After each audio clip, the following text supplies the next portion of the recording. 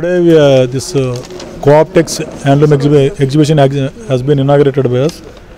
And uh, this is from the Tamil Nadu government and they are organizing this. And there are very different types of products and uh, from handlooms as well as the power loom products are uh, very affordable and uh, accessible to the, all the middle class and lower class people and very excellent quality.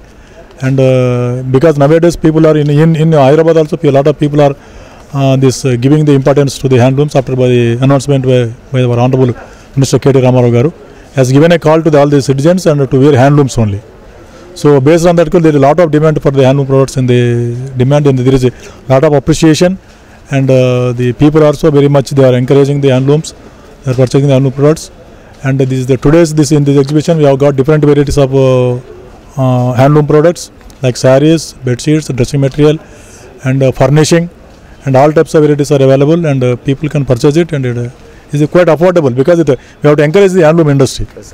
So that is the concept here, and we wanted to promote the sales on the all the all the organic sales are there, including the uh, natural dyes. Natural dyes, uh, handloom products also there, and uh, people can avail this facility and uh, they can uh, purchase it.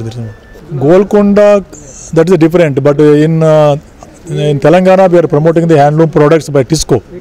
Telangana State Handloom Weavers Cooperative Society is there. And after a call given by the Honorable Minister, there are sudden there is a sudden jump of the only handloom products in the state. And through a variety of the all the measures, we are uh, encouraging the weavers through uh, uh, through various inputs such as the yarn subsidy and the thrift fund and encouraging the all the weavers by new, new designs and the marketing facility. By the recently, we also government also taken a decision to appoint uh, Samantha the brand ambassador for the promotion of the handloom products. And uh, shortly, we are hoping to uh, open the more and more showrooms and where this the handloom products will get pick up. Hyderabad public they can avail it. They can avail what is the handloom products. They are right now they are very much uh, encouraging the handloom products in the city. And uh, after our products, definitely we hope that this this patronized by the people, definitely citizens, definitely will will help the handloom weaver, poor weaver who is uh, uh, weaving in the rural areas. It is indirectly it is an encouragement to the weaver and the weaver industry, and at the same time we have to safeguard our heritage and culture, and we have to take to the future generations also.